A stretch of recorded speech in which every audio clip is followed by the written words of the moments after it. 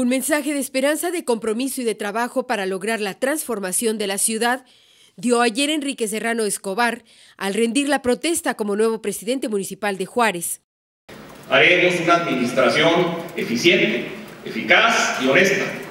transparentando los procesos de licitación de obra pública y adquisición de bienes y servicios, en donde habremos de privilegiar criterios de precio y calidad, dando preferencia siempre a las empresas locales.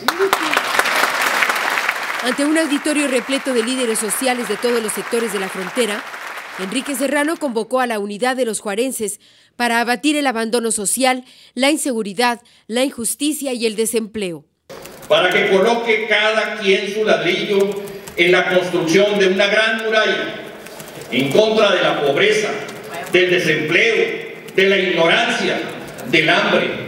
de la inseguridad, del abandono social el gobernador del estado, César Duarte Jaques, anunció en su mensaje el apoyo incondicional al nuevo gobierno local y de entrada facilitará recursos por 300 millones de pesos para el arranque de la administración municipal con obras de infraestructura.